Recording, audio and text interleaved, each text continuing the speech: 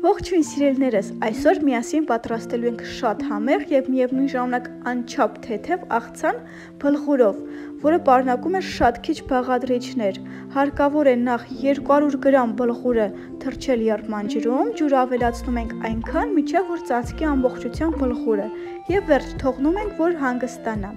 Իսկ մինչև այդ կկտրատենք մեր բանջարեղենները։ Մեզ հարկավոր է երկու լոլիկ, լոլիկները կտրատում ենք միջին չափի, ավելացնում ենք մեր